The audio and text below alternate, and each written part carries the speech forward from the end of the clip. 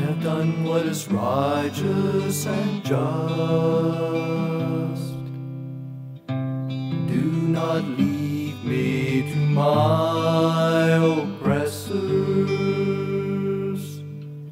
Ensure your servants' well being.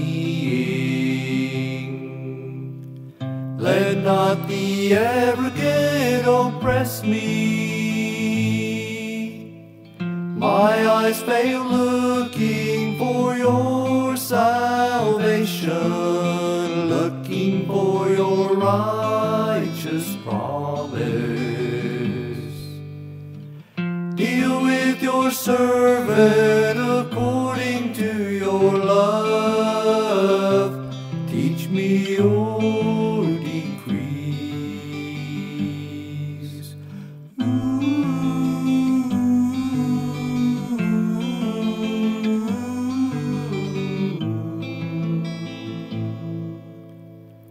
I'm your servant, give me discernment that I may understand your testimonies. It is time for you to act, O Lord. Your law is being broken.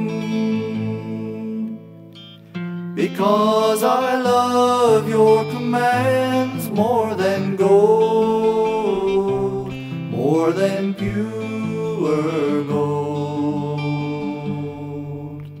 And because I consider all your precepts right, I hate every wrong path.